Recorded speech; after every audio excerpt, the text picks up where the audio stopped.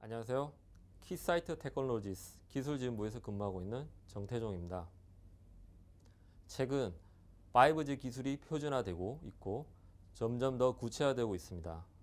머지않아 모든 사물들이 네트워크망으로 연결되는 IoT 시대가 곧 올 것이라고 예상됩니다.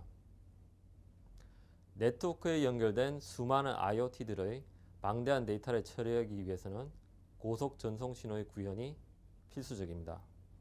빠른 속도를 지원하는 장치들이 등장함에 따라 신호 무결성과 전원 무결성 확보 또한 더욱 중요해지고 있습니다. 또한 점점 더 다양한 전송 신호 규격이 생겨나고 그 사양 또한 더욱 엄격해지고 있습니다.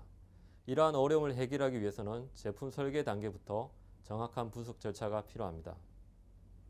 이번 시간에는 키사이트의 최신 기술이 적용된 시뮬레이터인 ADS를 이용하여 고속 전송 신호를 모델링하고 해석하는 방법을 알아보고자 합니다.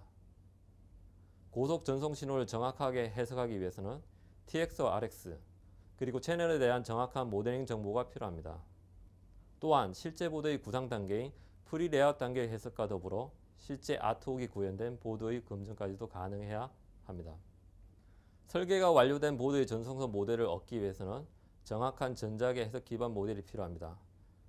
최신 기술이 적용된 ADS는 높은 주파수에서도 정확한 전자계 모델을 얻을 수 있도록 구현되었습니다. 자세한 내용은 본 웨비나 때 설명해 드리도록 하겠습니다. 감사합니다.